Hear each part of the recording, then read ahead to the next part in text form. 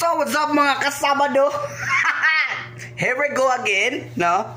It's been a long time, wala tayong video na na-upload. So, ngayon ay Sabado, so, wala muna tayong tagay. Nice. Ay, pahinga muna tayo, no? Kasi, kakabalik lang natin. Ngayon tayo ng bakasyon sa Leyte. So, ngayon mag-iipon muna tayo para sa next Sabado.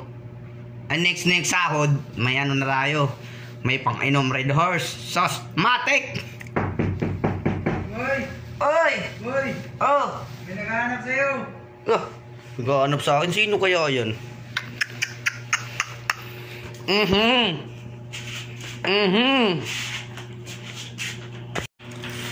Sino yun? Ay, put.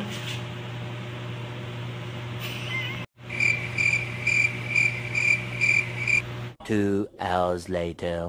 Ngayon ay Sabado, so wala muna tayong tagay. Pahinga muna tayo, no?